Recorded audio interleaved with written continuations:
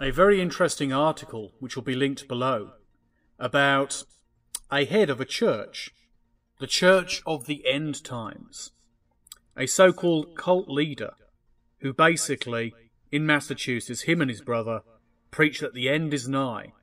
They make a good profit out of it, and interestingly, the building they use for their church also happens to be the building for their own business, their family business, which is, well, paving. And they run a church claiming the end is nigh. I've just got to wonder how those two things come together. You know? The end's going to come anytime soon. So let's make sure we pave the ground.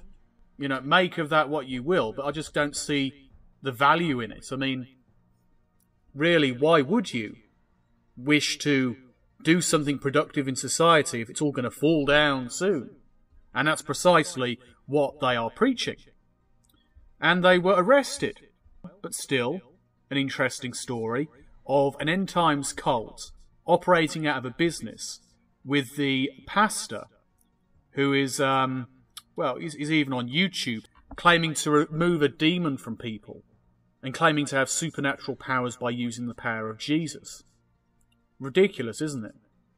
And there are so many reports you can find with quite a bit of ease on the internet of him carrying out exorcisms or of him uh, clearing away things, preaching. He, he looks like a long, really long haired, scruffy version of Bill Hicks, actually. No offense to Bill Hicks because he's dead anyway, but it's just crazy to have people like this actually promoting themselves on the internet. And they actually get people watching them and believing them when they put up their bullshit.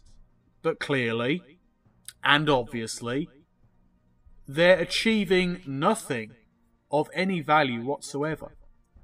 Apart from lining their own pockets, you know? I mean, how obvious can a scam be?